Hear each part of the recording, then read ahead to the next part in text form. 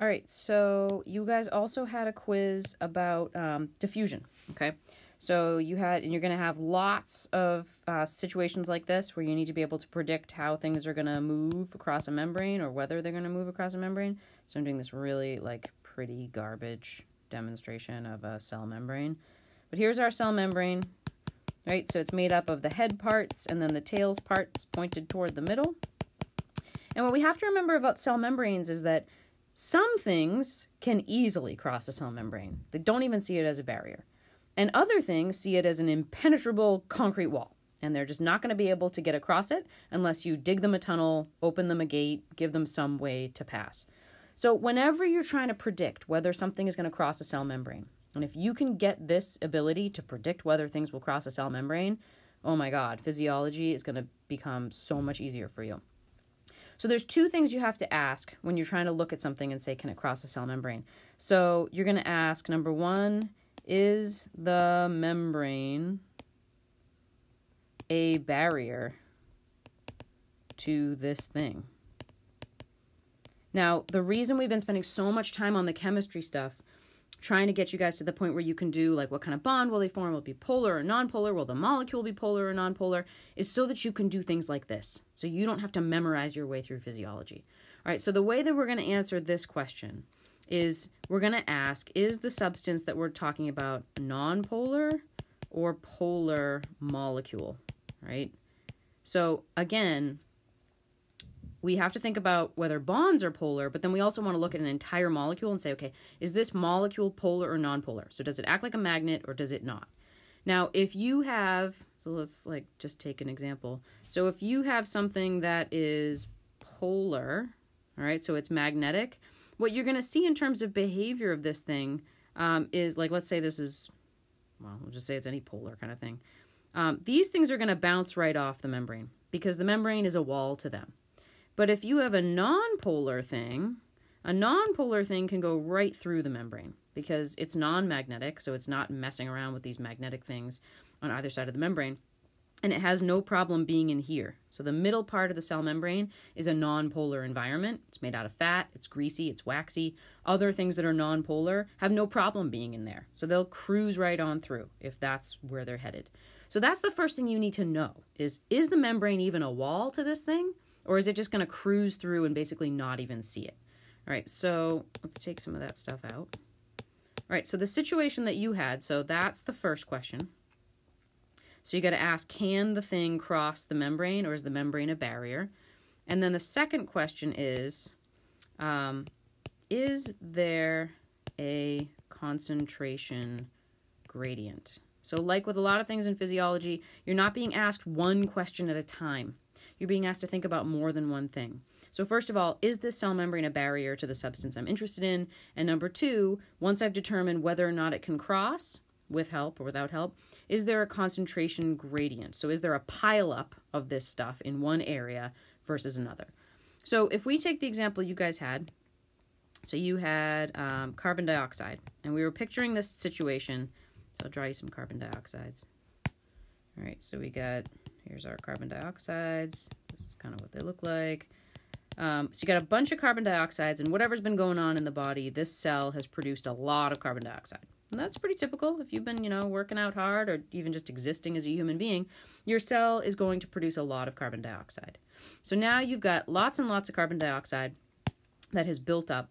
Um, your cell's been producing it. So here's, you know, this is inside the cell, and here's outside the cell.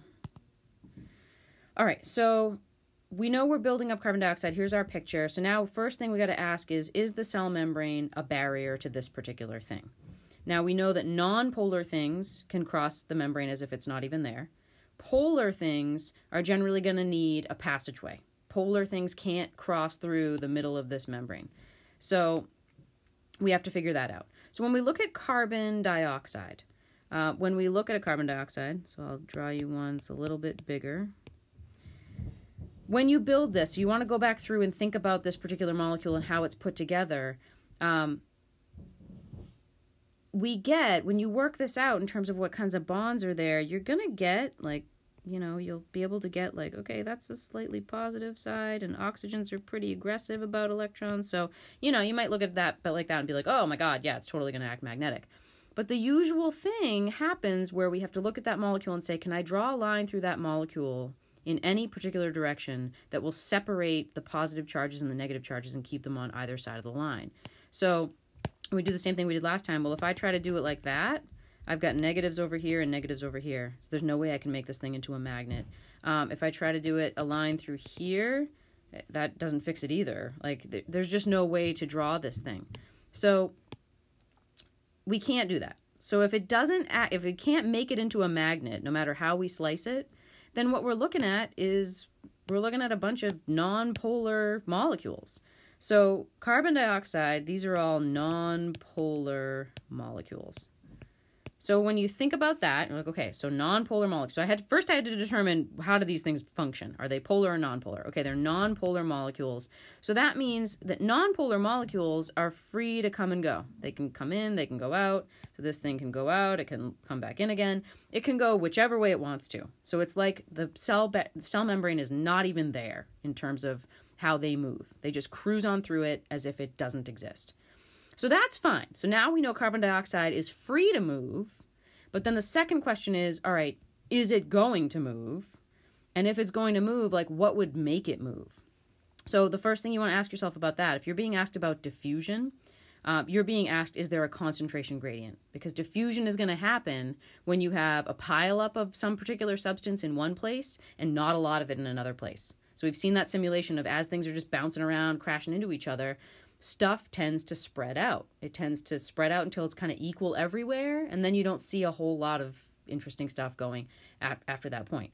So if you can find a concentration gradient, a pile up in one place, not a lot in another place, then you know that diffusion will occur as long as those molecules are free to move. Well, these molecules are free to cross the membrane if they want to. So if we've got a pile up of these carbon dioxides at this point, then once we've answered that question about whether they can cross so these guys, so let's like just summarize what we know about these things. So let's see. Do do do do. Yes, can cross. Yes, gradient. So once we know that, we know which way the gradient is kind of pointing, we know that we should be able to predict that these guys are going to start spreading across the membrane. So they're just going to be bouncing around, and eventually if we come back in about 20 minutes, less than that really, we would expect to find about equal numbers of these on either side of the membrane. So they're going to spread themselves out so they're equal on both sides. So that's just what things do with diffusion. You don't have to do anything about it. So we basically did not have to work hard to make this happen. We didn't have to work at all. They're free to move, and their concentration gradient is set up so that they will move. So, yeah, this is happening in your cells all the time. Your cells don't have to work very hard to get the carbon dioxide to leave as it builds up and builds up inside your cells, it just gradually drifts out because it's diffusing down its concentration gradient. So you still have to think about all those levels of, of chemistry thinking to get to this point. Yes, you can just memorize what carbon dioxide does inside a cell, outside a cell. You can memorize what oxygen does. But if you can build these molecules from scratch, then you've got the power to predict what anything will do. And that is unbelievably powerful. You can look at a drug that you've never seen before, and as long as you know how it's chemically put together, you'll be able to predict whether it can get into the cell and do its job, or whether it can get out of the cell and do its job. That's a superpower in physiology. So I really want to encourage you guys to keep working at it. I've seen a lot of progress in terms of at least being able to say, okay, is this atom stable as it is? If it's not stable, it'll interact with this other atom. Maybe they'll bond. What kind of bond will it be? And we're building and building on those blocks to get you to the point where you can predict things like this.